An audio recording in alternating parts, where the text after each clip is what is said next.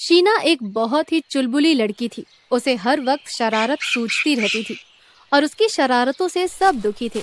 एक दिन उसने देखा कि उसके घर के साथ वाले घर में हंगामा हो रहा है। अरे, ये क्या हंगामा हो रहा है? इतना ज़ोर ज़ोर से सब क्यों चिल्ला रहे हैं? जाकर देखती हूँ। शीना बगल वाले घर में जाती है। अरे काकी, इतना क्यों चिल्ला रही हैं? देखो शीना, घर में कितना बड़ा चूहा आ गया है। ओहो काकी भला ये भी डरने वाली बात है क्या? चूहे से कौन डरता है?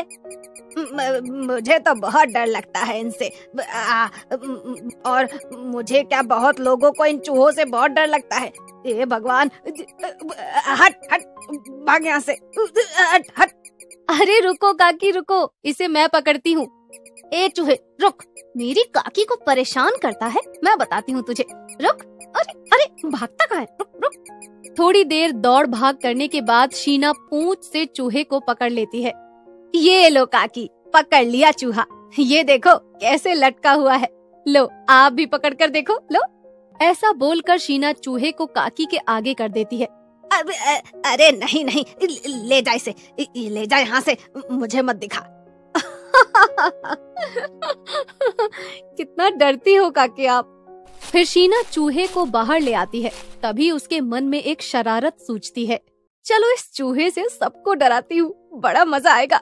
शीना चूहे को लेकर सबको डराने लगती है, तभी उसकी माँ आ जाती है। शीना चूहा अपनी माँ के ऊपर फेंक देती है। अरे अरे अरे, ये चूहा मेरे ऊपर क्यों फेंक दिया? हे भगवान, क्या करूँ मैं इस लड़की का? चूहा अपने ऊपर से फेंक कर शीना की माँ शीना को मारने भागती है। अच्छा माँ, अब नहीं करूँगी। अब पक्का नहीं करूँगी, पक्का। ऐसे ही कुछ दिनों में शीना की शादी तय हो जाती है और शीना की माँ शीना को समझाती है। देखो शीना बेटी, अब तुम्हारी शादी होने वाली है। अपने ससुराल में अच्छे से रहना, वहाँ ये बच्चों वाली हरकतें मत करना। कुछ नहीं करूँगी, लेकिन बस जो मुझे परेशान करेगा ना, उसे चूहे से ज़रूर डराऊँगी। क्या सोचने लग गई बेटा? जो बोल रही हूँ उसे ध्यान से सुन। हाँ हाँ मैंने सुन लिया, माँ। कुछ ही दिनों में शीना की शादी हो जाती है और शीना की सास शीना से कहती है, ए बहू रानी, अब इस घर में आ गई हो तो इस घर के नियम कानून भी जान लो। जी माँ जी बता दीजिए। मेरे घर में सुबह चार बजे उठना होगा और किचन में नहा कर ही पैर रखना और सात बजे से पहले पूजा खत्म हो जानी चाहिए। जिस दिन पूजा नहीं की उस दिन खाना भी मत खाना। ये बुढ़िया तो बड़ी खड़ूस है। मेरे आते ही मुझ पर हुक्म चलाने लग गई। बताऊँगी इसे तो अच्छे से बताऊँगी। अगले दिन शीना बहुत जल्दी उठ जाती है और सारा काम खत्म कर देती है। सारा काम भी खत्म कर लिया आठ भी बज गए। लेकिन ये सासू माँ अभी तक नहीं उठी। कल तो मुझे इतना भाषण दे रही थी और खुद अभी तक सो रही हैं। तभी उसे एक चूहा नज़र आता है। अभी माँ जी को मज़ा चखाती हूँ। शीना चूहा पकड़कर अपनी सास के ऊपर फेंक देती है।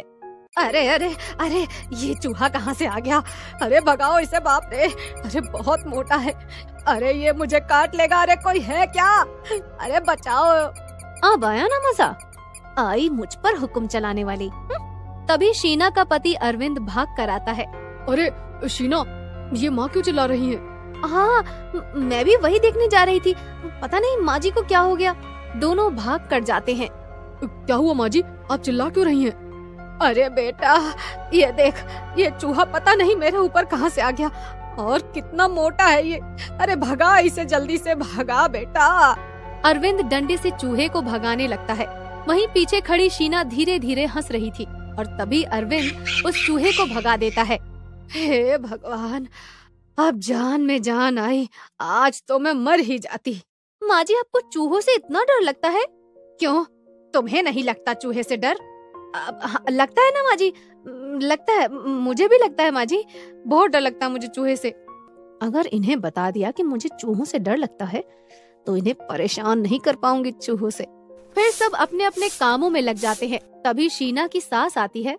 बहू आज खाने पर कुछ मेहमान आएँगे। तो खाने में कुछ अच्छा सा बना लेना।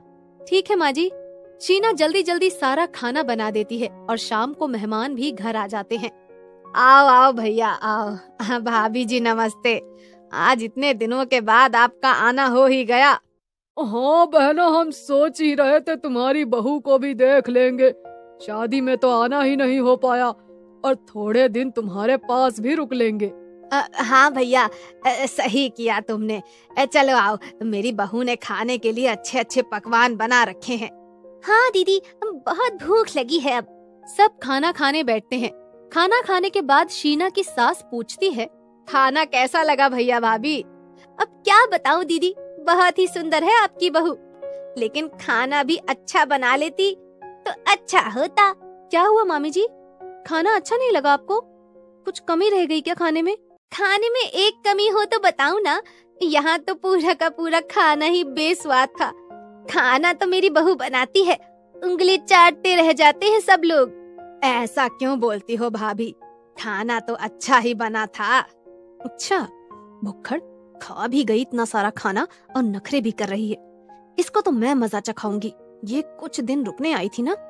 इसे कल ही यहाँ से रवाना न किया ना तो मेरा नाम भी शीना नहीं।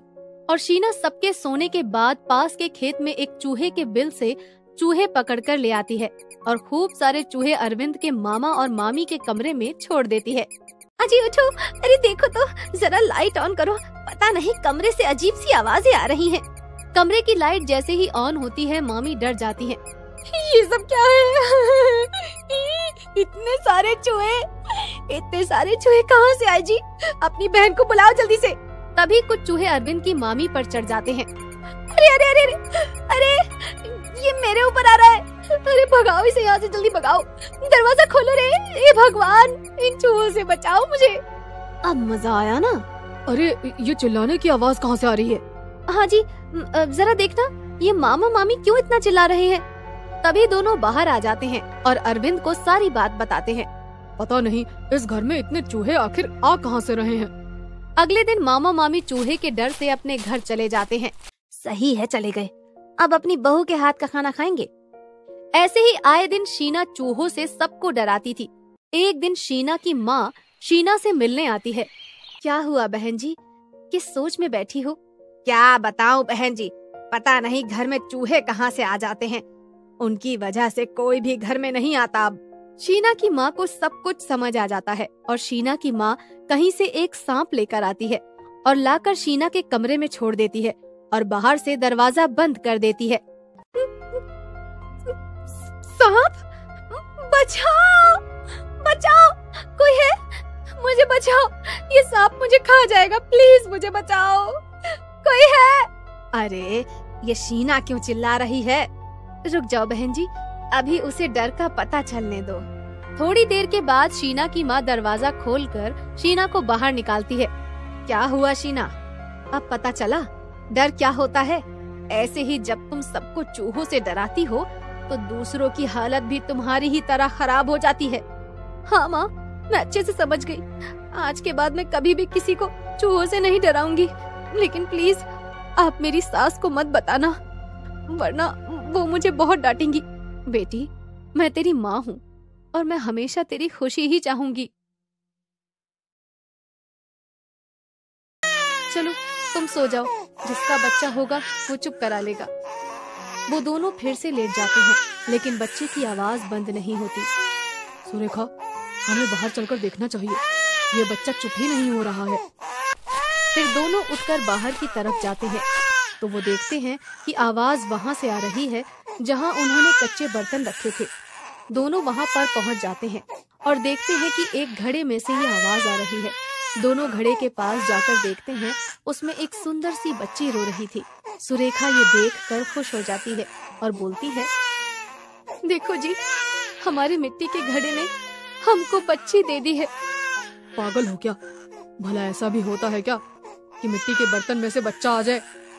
लगता है कोई अपनी बच्ची को यहाँ पर रखकर भूल गया है। मैं इधर उधर उसके माता पिता को देख कर आता हूँ। मोहन इधर उधर देखने जाता है, लेकिन उसे कोई नहीं मिलता। सुरेखा, तुम सही कह रही हो। भगवान ने ये बच्ची हमें दी है। तभी तो इसे कोई देखने वाला भी नहीं है। अगली सुबह सास को ये पता चलता है तो वो बोलती है, एक तो इसको कोई संतान नहीं हुई, और फिर ये बच्ची पता नहीं कहाँ से आ गई। किसका खून है ये? मुझे लड़का चाहिए था, जो हमारे वंश को आगे बढ़ाए। और ये पता नहीं किसकी बच्ची है। हम इसे क्यों पाले भला? जाओ इसे फेंक कर आ जाओ कहीं। माँ, तुम पागल हो गई हो क्या? बच्चे भगवान का रूप होते हैं। मैं इसे कहीं फेंकने नहीं जा रहा, बल्कि इसे अपने बच्चे की तरह पालूँगा। तुझे जैसा सही लगे तू कर। मेरी तो तू सुनता ही नहीं है। एक दिन मोहन बच्चे को गोद में लेकर मिट्टी के बर्तन बेचने जाता है और उस दिन उसके बर्तन दुगने रेट पर बिकते हैं। तो वो आकर अपनी बीवी से कहता है सुरेखा देखो हमारी इस लक्ष्मी ने आज सच में साबित कर दिया है कि ये भगवान का ही हमारे लिए आशीर्वाद है। इसके शुभ कदमों से मेरा आज का काम बहुत अच्छा हुआ और मुनाफा भी दुगना हुआ है। अजी मैं तो पहले ही दिन आपको बोलती थी कि मिट्टी के बर्तन से निकली ये बच्ची हमारे लिए देवी का रूप बनकर आई है। इसके आने से मेरी सोनी गोद भी भर गई है। तुम सही कहती हो। इसकी वजह से हमें माता पिता होने का सुख मिल गया है। फिर मोहन जब भी अपने बर्तन बेचने जाता, बच्चे को साथ लेकर जाता, जिससे उसे बहुत मुनाफा होता और देखते ही देखते उसके मिट्टी के बर्तनों का कारोबार बहुत अच्छा चल गया। मिट्टी के बर्तन से निकली वो बच्ची उसके लिए बहुत ही लकी थी। मोहन को या किसी को कभी ये पता नहीं चला कि आखिर मिट्टी के बर्तन में से बच्ची कैसे आई, पर वो लोग उसे देवी का रूप मानते थे। फिर मोहन धीरे धीरे अमीर आदमी बन गया था। और जब लड़की बड़ी हो गई तो मोहन ने उसकी शादी बहुत ही धूमधाम से की। लड़की भी मोहन को बहुत प्यार करती थी। साथ ही मोहन की माँ भी धीरे धीरे अपनी पोती से प्यार करने लग जाती है।